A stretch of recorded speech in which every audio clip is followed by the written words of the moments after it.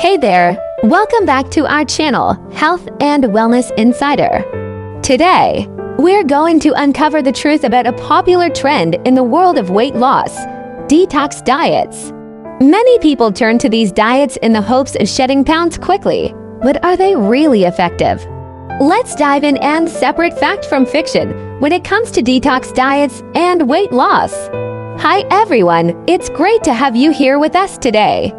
Detox diets have become quite popular, promising rapid weight loss by eliminating toxins from our bodies.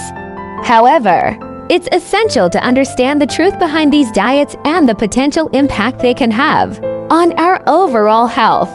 First, let's address the premise of detox diets.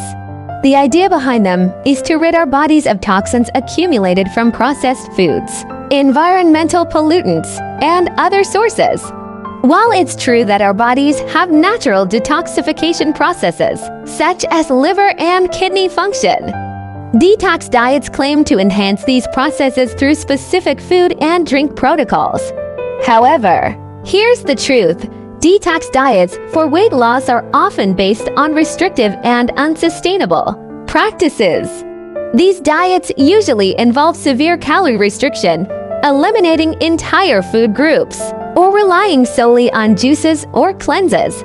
While this may lead to initial weight loss due to water weight and reduced calorie intake, long-term success is unlikely. The problem with detox diets is that they can be nutritionally imbalanced and lacking in essential nutrients. Our bodies need a wide range of nutrients to function optimally. And depriving ourselves of these nutrients can lead to deficiencies, low energy levels, and potential health risks. Additionally, extreme calorie restriction can slow down our metabolism and make it harder to maintain weight loss in the long run. Furthermore, detox diets often promote a negative relationship with food and can trigger unhealthy behaviors. Restrictive eating patterns can lead to feelings of deprivation, binge eating episodes, and an unhealthy preoccupation with food. These diets can also disrupt our body's natural hunger and fullness cues, making it harder to maintain a balanced and sustainable approach to healthy eating. So, what's the alternative to detox diets for weight loss? Instead of relying on quick fix solutions, it's important to focus on long-term lifestyle changes. A sustainable approach to weight loss involves adopting a balanced and nutritious diet. Regular physical activity, stress management, and adequate sleep. If you're looking to support your body's natural detoxification processes, there are simple steps you can take.